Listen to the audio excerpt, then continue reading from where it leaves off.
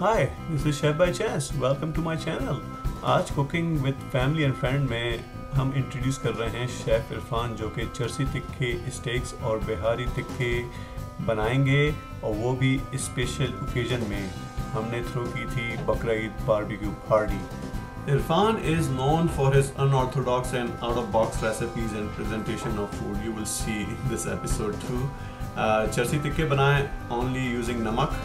रिबाय और T bone steak बनाया grill पे, और टेन ओ क्लॉक और ट्वेल्व ओ क्लॉक का रूल एक्सप्लेन किया कि किस तरह से ग्रिलिंग मार्क्स आने चाहिए। इसके अलावा अपनी पर्सनल बिहारी टिक्कों की रेसिपी शेयर करी। ये बहुत ज़बरदस्त टिक्के बनाते हैं और presentation as you can see was out of this world That's why he's known for unorthodox and out of box presentation and food recipes. तो चले enjoy करते हैं इनकी recipes.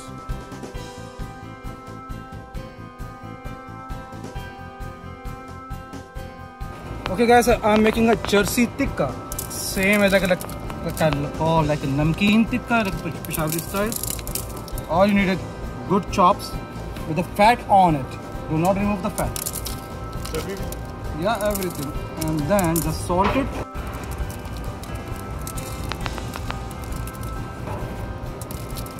And go for barbecue. तो इसके लिए चॉप्स हमें जो हैं बकरे की चाहिए दुम्बे की चाहिए क्या आप रिकमेंड करेंगे?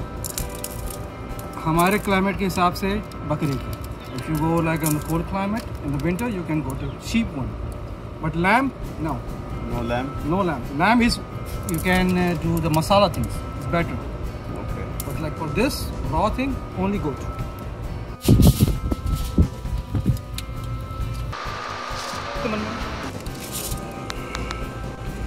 जनाब ये आ गए आपके जर्सी टिक्के। उस्ताद ये टेम्परेचर क्या हिसाब है? इसका बताएँ किस तरह यार इसको आप 250 पे ना मैक्स कर सकते हो। और ये कितनी देर लगती है इसमें at least thirty to forty minutes if you want to like a good result तो आर्ट क्या है? आर्ट अभी समझ खाली अपने नमक लगा दिया फटाफट हो जाएगी। ना आर्ट ये इसको आपको 40 मिनट इस रखना है टेम्परेचर बहुत कंट्रोल करना है।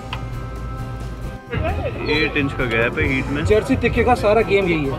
It has to be very now you